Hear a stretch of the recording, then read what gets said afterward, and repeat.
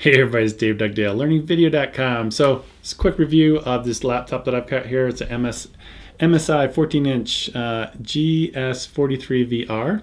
It's uh, really packed with a lot of great features. One of the great things about having a relationship with B&H Photo is if I need something and I only need it for a few days or something like that, I just call them up and they send it to me.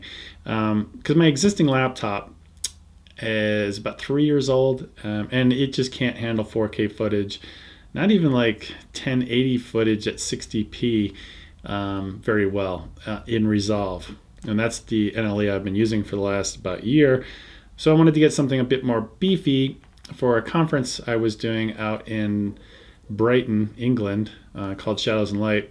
And I was doing a demonstration with the laptop, just connect HDMI up to this big projector. And I knew that my existing laptop just was not going to cut it. So I got this one in from B&H, and that's the great thing about B&H. I just, I just wanted to use it for a few days and send it back, and hopefully not fall in love with it. you know what I mean?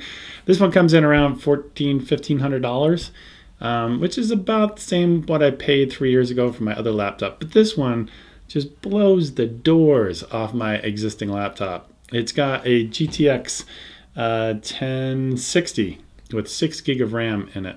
Some of the other specs, it's got a i7 7700 quad core, 16 gig of DDR4 RAM. It's got two separate drives, an SSD and a one terabyte hard drive, and it's got a 14 inch 1080 display. The display is pretty good. Uh, again, this, I am not a professional reviewer of laptops, so I'm just going to do this pretty quick. But basically, it will play 1080 footage uh, from XAVC codecs on the Sony cameras. Fantastic in Resolve. Not only 12.5, I tried in 12.5, um, and I would uh, cursor around, especially with the blade tool, and uh, it was pretty responsive. Now, when you get to Resolve 14, it was even better.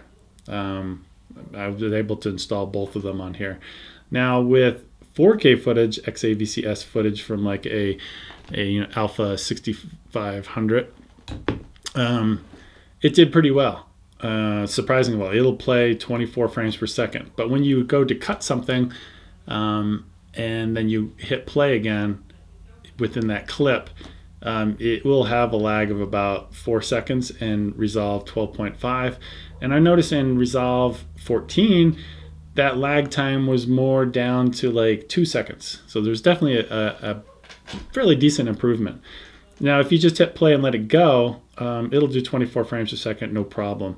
Um, it's just when you're cutting and editing that you'll run into that kind of lag. Um, now, Premiere Pro, I imagine would work even better on this laptop because that doesn't seem to have that kind of laggy type of issue.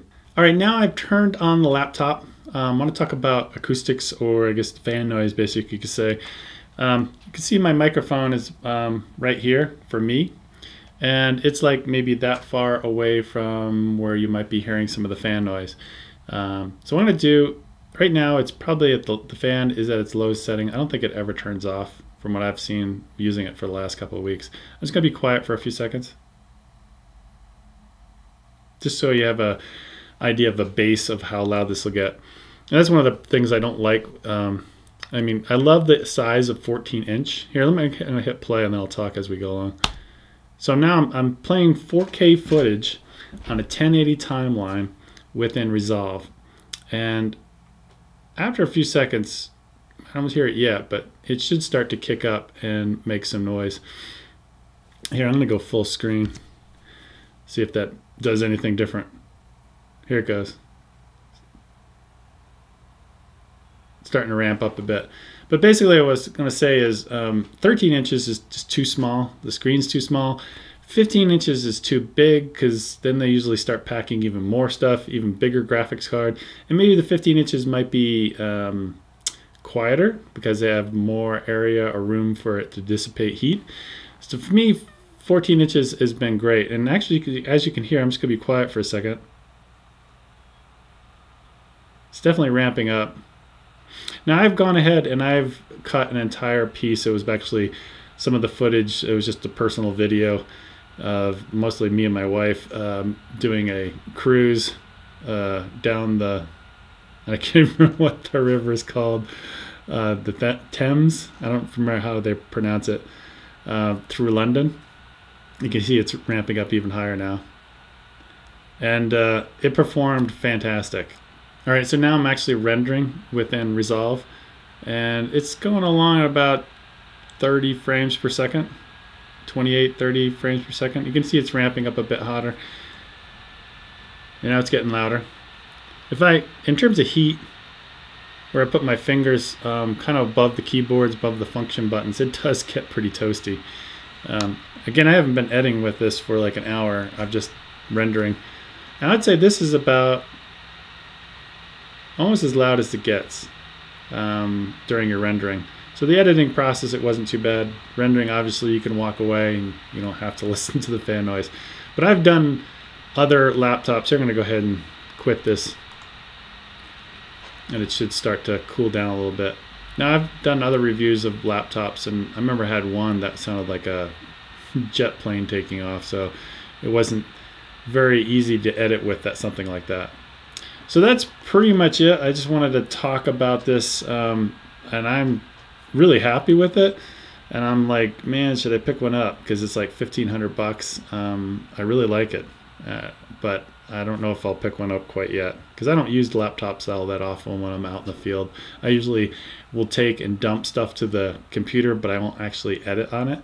But if I had something like this, I would probably start editing when I got home. Just export that um, file, basically bring it into the, this computer over here, and then do the editing.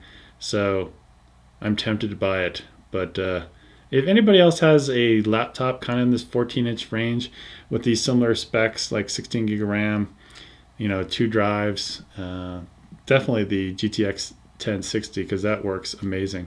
And like I said before, you couldn't do any of this stuff two or three years ago with the laptops were out then. At least I don't think you could. But today with these new GTX 1080 cards that are built into the computer, it's pretty amazing. All right, that's pretty much it. I'll talk to you guys later. Bye.